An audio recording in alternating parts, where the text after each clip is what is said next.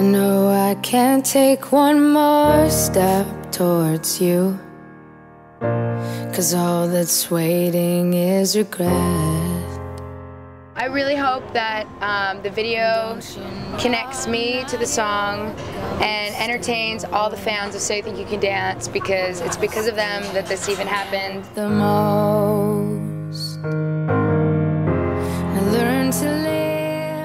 I really hope that they love it. I hope that they love the dance. I hope that they love the, the guy. I hope that they love the look and the feel and, and that they just feel like, um, you know, that we did this song justice with this video. think you are running around leaving scars, collecting a jar of hearts and tearing love apart. You're gonna catch a cold.